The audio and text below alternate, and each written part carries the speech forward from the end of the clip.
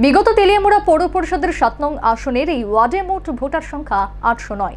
এর মধ্যে মহিলা ভোটার চারশো পঁয়ত্রিশ এবং পুরুষ ভোটার তিনশো চুয়াত্তর জন। এই ওয়ার্ডে বিগত পৌরসভা নির্বাচনে কাউন্সিলর হিসেবে নির্বাচিত হয়েছিলেন এই এলাকারই রূপক সরকার। এই সাত নং ওয়ার্ডের গণদেবতার মহামূল্যবান ভোট দানের মধ্য দিয়ে বিচার হবে আসন্ন পৌর পরিষদ নির্বাচনে। এই ওয়ার্ডে পরিবর্তন নাকি প্রত্যাবর্তন ঘটতে চলেছে? পৌর পরিষদের নির্বাচন ইতিমধ্যেই দোরগোড়ায় করা নাড়ছে। এই নির্বাচনে কি চাইছেন তেলিয়ামুড়া পৌরবাসীরা? পরিবর্তন নাকি প্রত্যাবর্তন? এই বিষয়ে খোঁজ খবর নিতে আমাদের প্রতিনিধির গন্তব্যস্থল ছিল তেলিয়ামুড়া পৌর পরিষদের সাত নং ওয়ার্ড। এই ওয়ার্ডে মোট ভোটার সংখ্যা আটশো নয়। এর মধ্যে মহিলা ভোটার চারশো পঁয়ত্রিশ এবং পুরুষ ভোটার তিনশো চুয়াত্তর জন। এই ওয়ার্ডে বিগত পৌরসভা নির্বাচনে কাউন্সিলর হিসেবে মনোনীত হয়েছিলেন এই এলাকারই সন্তান রূপক সরকার। এই সাত নং ওয়ার্ডের আটশো নয় জন গণদেবতার মহামূল্যবান ভোট দানের মধ্য দিয়ে বিচার হবে। আসন্ন পৌর পরিষদ নির্বাচনে এই ওয়ার্ডে পরিবর্তন নাকি প্রত্যাবর্তন? ঘটতে চলেছে। বিগত তেলিয়ামুড়া পৌর পরিষদের সাত নং আসনে বিজেপি দলের প্রার্থী হিসেবে নির্বাচিত হয়েছিলেন প্রাক্তন পৌর পরিষদের ভাইস চেয়ারম্যান রূপক সরকার। পৌর পরিষদের ভাইস চেয়ারম্যান থাকাকালীন সময়ে এই ওয়ার্ডে বসবাসকারী সাধারণ মানুষজন পৌরবাসীদের তিনি কতটুকু সাহায্য সহযোগিতা করেছেন ওনার কাছে কতটুকু খুশি পৌরবাসীরা, জানব এই প্রতিবেদনের মধ্য দিয়ে।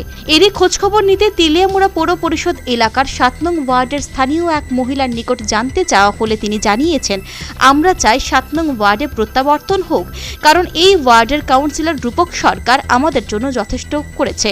শৌচালয় সহ এলাকার রাস্তাঘাট উন্নয়নের তিনি যথেষ্ট কাজ করেছেন। তাছাড়া বাড়ি বাড়ি গিয়ে ময়লা আবর্জনা সংগ্রহ করার যে কাজটি রয়েছে, সেটিও এই মহিলাকে করার সুযোগ করে দিয়েছেন সাত নং ওয়ার্ডের কাউন্সিলর তথা পৌর পরিষদের ভাইস চেয়ারম্যান রূপক সরকার। ফলে মহিলার পরিবার বর্তমানে আর্থিক দিক দিয়ে সচ্ছল, তাই তারা চাইছেন পুনরায় এই ওয়ার্ডের রূপক সরকারি কাউন্সিলর পদে থাকুক অর্থাৎ প্রত্যাবর্তন হোক। উন্নতি করছে আমার যেমন দু টাকা কিছু চাল দিছে। এই সরকারি স্কুলে একটা ব্যবস্থা করে দিছে। তো রাস্তাঘাটও করছে। এই এলাকার থেকে তো দাঁড়াইছে সিপিএম থেকে একজন দাঁড়াইছে। তো কি মনে করে? কি কমান তো? না আপনারা তো একটা পরিবার আছে একদম মানে তো আগে তো সব হয়েছিল এখন তো পরিবর্তন হয়েছে। অপরদিকে এই এলাকার অপর আরেক গৃহিণী জানিয়েছেন কাউন্সিলর পদে দেখতে চান রূপক সরকারকে। তিনি খুবই ভালো মনের মানুষ। ধনী গরিব বিচার বিবেচনা করেন না তিনি। আমার ঘরে জল পড়ত তখন তিনি নিজে উদ্যোগ গ্রহণ করে টিন প্রদান করেছেন। তিনি আরও জানিয়েছেন সিপিআইএম দলের সাত নং আসনের মনোনীত প্রার্থী অশোক সেনকে এলাকার মানুষ চেনেন না। তিনি কখনো মানুষের কাছে আসেননি। কোনো সমস্যা রয়েছে কিনা সে সম্পর্কে খোঁজ খবর নিতে যে আছে সেই ভালো। তাই না আমরা খুবই ভালো। গরিব ধনী গরিব কিচ্ছুই চায় না। আমরা সব কিছু সাহায্য করছে টিন টুন সবই দিচ্ছে। আমরা ঘরে জলপত্র তার লাগে টিন দিছে। তো আমরা রাস্তাঘাটও দিছে ভালো করে সব কিছু দিচ্ছে বাইশ মাসে কিতে কিতে এমন ইয়ে করছে ধানের কাজ? অনেক কিছু করছে কিতা কইতাম অনেক কিছু করছে। রাস্তাঘাট সব কিছু তো করল।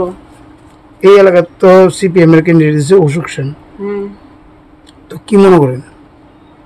আমিও তো এটা মনে করি না। আমার এই দুইবেলা। মানে অশোক আছে এই অসুখ সেন এমনি কোনোদিন না, না, না, না। না না। এটা কিছু করছে না। এতদিনের মধ্যে যে মানে এত বছর তো সিপিএম আগে আসলে কোনোদিন না না।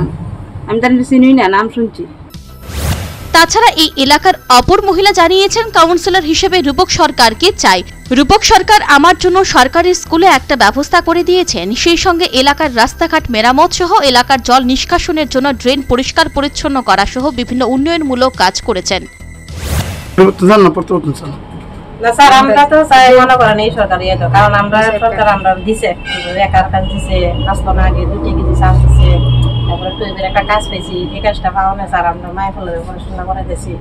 এরপরে আর লিফটিং দিছে আর দিছে অনেক কিছু দিছে স্যার আমার আগে কিছুই আছে স্যার আমরা লেগে যথেষ্ট করছে কিতে কিতে পেয়েছেন কি থেকে লিফটিং পাইছি রেখার কাজ পাইছি দুইটা কেজি চাল পাইছি গ্যাস পাইছি অনেক কিছু পেয়েছি স্যার এরপরে করোনার ভিতরে যে মনে করেন এই সুযোগ সুবিধা দিয়েছে সব কিছু আমরা পাইতেছি সাহায্য টাহায্য দিছে তেলিয়ামুড়া পৌর পরিষদ এলাকার সাত নং ওয়ার্ডের সকল জনগণই চাইছেন কাউন্সিলর পদে পুনরায় বহাল থাকুক এলাকার ছেলে রূপক সরকার কারণ সে দলমত ধনী গরিব নির্বিশেষে সকলের হয়ে সকলের পাশে থেকে কাজ করে চলেন। তাছাড়া এই এলাকার সারদাময়ী বিদ্যাপীঠ বিদ্যালয়কে ইংরেজি মাধ্যম বিদ্যালয়ে রূপান্তরিত করার জন্য রূপক সরকারের অবদান অনেক। তাছাড়া এলাকার অনেক দুস্থ ও মেধাবী ছাত্রছাত্রীদের সর্বদা তিনি পাশে থেকে সর্বাঙ্গীনভাবে সাহায্য করে গেছেন। তাছাড়া যেসব বাড়িঘরে গ্যাসের কানেকশন ছিল না, সেই বাড়িঘরগুলোতে প্রধানমন্ত্রী উজ্জ্বলা যোজনা প্রকল্পের মাধ্যমে বাড়ি বাড়ি গ্যাসের কানেকশন পৌঁছে দিয়েছে। এখন দেখার বিষয়, আগামী পঁচিশে নভেম্বর ভোট ভাগসে কি ম্যাজিক দেখাতে পারে রূপক সরকার? সেটা এখন সম্পূর্ণটাই গণদেবতাদের উপর। Bureau report, news vanguard.